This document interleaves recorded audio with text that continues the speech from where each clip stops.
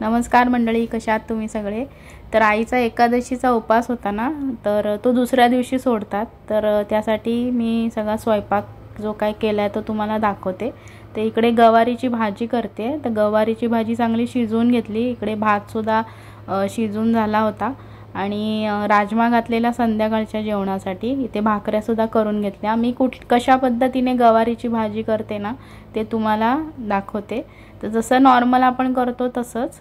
आणि इथे मी तेल घातलं होतं. तेलामध्ये मोहरी जिरं आणि कढीपत्ताची फोडणी द्यायची. कांदा मी ऑलरेडी चॉप करून घेतलेला. त्याच्यात कांदा टोमॅटो आणि लसूण टाकलेलं. तर कांदा आपल्याला कमी जास्त पाहिजे तेवढा असं करू शकतो. अशा पद्धतीची भाजी आईला आणि विजयला खूप आवडते. म्हणून थोडीशी अशी ओली भाजी केली आहे. मला तर सुकी भाजी आवडते. आणि मैत्रिणीनो सांगायचं म्हणजे असं की लवकरच आणि भाऊसुद्धा येणार आहे आणि आईला न्यायला तेव्हा तर व्हिडिओ बनवेनच. तर कसे सहा महिने गेले खरंच समजलं नाही. आणि मलासुद्धा जास्त व्हिडिओ बनवायला मिळाले नाहीत. पण खूप छान वेळ गेला आईबरोबर आणि असं थोडासा इथे कांदा वगैरे परतून घेतला. आणि कांदा लवकर शिजण्यासाठी थोडंसं मीठसुद्धा टाकलं असंच. म्हणजे जेवढं काय भाजीला लागतं तेवढं आधीच टाकलं. आणि गवार शिजताना पण थोडं मीठ टाकलं होतं. तर असं अशा पद्धतीने चांगला कांदा परतून घ्यायचा. आणि मला अशी गवारीची आहे ना सुकी भाजी पण आवडते बटाटा वगैरे टाकून अशी पण. पण आता कसं आहे प्रत्येक भाजीमध्ये बटाटा असतो त्यामुळे कधी कधी कंटाळा येतो. त्यामुळे मग आता मी बटाटा वापरला नाही. आणि इथे हळद तसंच तिखट आणि गरम मसाला टाकू शकतो. मी इथे गरम मसाला नाही वापरला आहे पण आपल्याला पाहिजे तर आपण टाकू शकतो. आणि टाकतो आम्ही तसा पण पण आता नाही मी टाकला आणि अशी नुसती गवारीची अशी परतून पण छान होते बघा असंच. पण इथे मी फ्लावर टाकला आहे फ्लावरसुद्धा खूप छान होता तो पण टाकला आहे आणि असंच परतून चांगलं असं शिजवून घ्यायचं. आणि अशा पद्धतीने शिजवून घ्यायचा फ्लावर. पाणी वगैरे टाकून. तर नुसती अशी पण भाजी फ्लावरची पण जरी करायची झाली तरी याच मसाल्यात आपण करतो ना तसंच करायचं. थोडंसं पाणी टाकून घेतलं म्हणजे कसं फ्लावर लवकर शिजेल. आणि असं घा झाकण ठेवून थोडं पाच मिनटं शिजून दिला. आणि इकडे डाळीला मी असं थोडं म्हणजे डाळी डाळ पण शिजवून घेतलेली. त्याच्यात मिरची एक टोमॅटो आणि लसूण असं टाकून डाळ शिजवून घेतलेली. आणि ते तुम्ही बघाल तर छान अशी मस्त अशी उकळी आलेली आहे. तर असं तेल सुटायला पाहिजे छान. म्हणजे कसं फ्लावर वगैरे पण छान शिजतो. आणि अशी भाजीसुद्धा छान लागते की नाही अशी पण करते मी. असं आणि याच्यात बटाटा टाकला की असं फ्लावर बटाट्याची भाजी तयार. ह्याच्यामध्ये ना हे मसाला टाकला आहे आणि अशीसुद्धा एक भाजीचा प्रकार होतो की नाही. तर तो पण. मग अशी पण छान लागते की नाही भाजी? असं पण काय तोच अशी भाजीसुद्धा खाऊ शकतो. आणि गवार कशी ऑलरेडी शिजवून घेतली होती त्याच्यामुळे ही पण भाजी पटकन होते. जास्त काय वेळ लागत नाही. आणि अशा पद्धतीने ही भाजी हे केली. फक्त दोन मिनटं अशी वाफ येण्यासाठी ठेवली भाजीला. असं म्हणजे सगळा मसाला चांगला लागेल. इथे डाळीला फोडणीसुद्धा देऊन घेतली जसं नुसतं मोहरी जिरं आणि कढीपत्त्यावर. डाळसुद्धा तयार आहे. ह्याच्यात कसुरी मेथी टाकली की असं अजून एक चांगला फ्लेवर येतो डाळीला. आणि इथे तुम्ही बघाल तर भाजीसुद्धा गवारीची तयार आहे. एकदम सोप्या पद्धतीत होते आणि लवकर पण होते जर गवार शिजवून घेतली तर. आणि नेहमी मी अशीच करते. सुकी भाजी करायची तरी गवार आधी शिजवून घ्यायचा थोड्याशा मिठामध्ये. म्हणजे चांगलं शिजलं जातं. जसं आपण करतो नाही. भाजी तयार आहे गवारीची. मग इथे एकादशी निमित्त असं ताट करून घेतलं. तर तुम्ही म्हणजे इथे भाकऱ्याच केलेल्या. भाकरीला तूप वगैरे लावलं की भाकरीसुद्धा खूपच छान लागते. आणि असं हे आमचं एकादशीचं जेवण आहे. आणि चवळीची भाजी केलेली पण आईला ती नको हवी होती.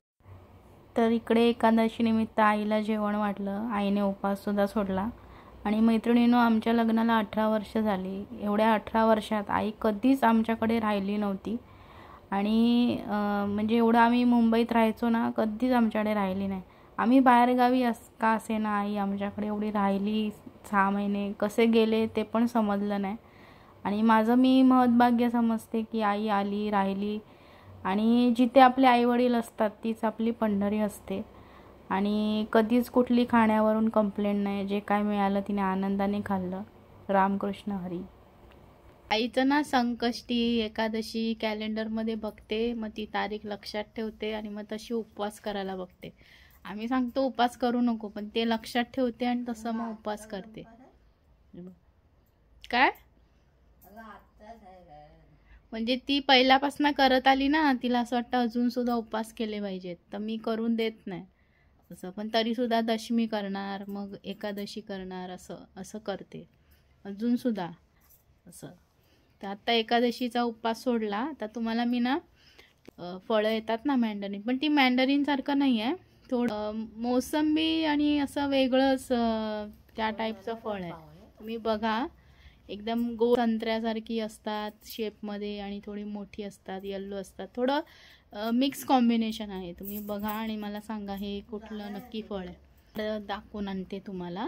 आईला वाटतं मी कुठे चालली आहे बाहेर फिरायला. आई बघा बघते माय गो तिला वाटतं की मी बोलते ना तर अजून सुद्धा आमच्याकडे असं काय होतं माहितीये? तिला मी म्हणजे कधी हे बघितलेलं पण नाही आणि आपण करत पण नाही ना असे व्हिडिओ.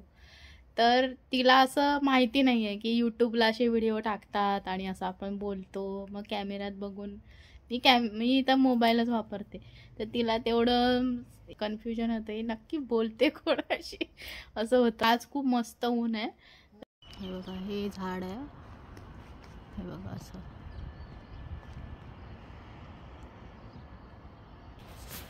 हे बघा अशी. पण थोडी आंबट असतात. लिंबासारखीच आहेत पण मोठी आहेत ना. तिकडे पण पडली आहेत. पण आंबट असतात म्हणून कोण नेत नाही. पण आंबट ज्यांना आवडत असेल त्यांच्यासाठी चांगली आहेत. या साईडला बघा पानं आहेत त्या साईडला पानं नाही आहेत. अशी गळून पडली आहेत. थंडी आहे ना त्याच्यामुळे. क्लायमेट चेंज होतं ना त्याच्यामुळे तुम्ही फरक बघू शकता. त्या बाजूला तुम्हाला मी दाखवलेलं ॲपलचं झाड दाखवलेलं ना. हे बघा त्या बाजूला पण एक झाड आहे दिसलं? हे बघा इथे पण एक झाड आहे. ते खूप छान झाड आहे. हे मोसंबी असतात त्या टाईपचं आहे. मोसंबी सारखंच आहे.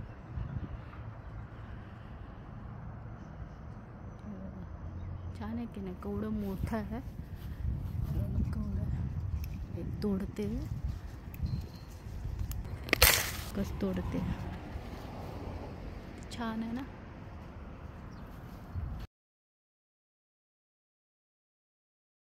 हे कापून बघूया कसं आहे. असं शेप बघा कसं आहे. संत्रा आणि ऑरेंज असं वाटतं की नाही? ऑरेंज आणि संत्र आणि असं मिक्स वाटतं की नाही? असं कापू काय?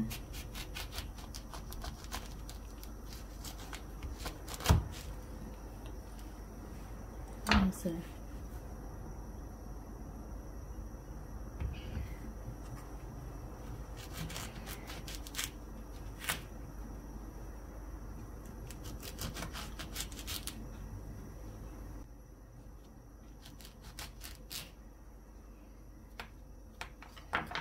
खाऊन आंबट आहे. खूप म्हणजे खूपच आंबट आहे. मला वाटतं हे लिंबाचाच एक प्रकार असेल. ना की ऑरेंज आहे ना संत्रा आहे. हे असं मला वाटतं लिंबाचाच एक प्रकार आहे. एवढं लिंबू असतं ना तेवढं आंबट आहे.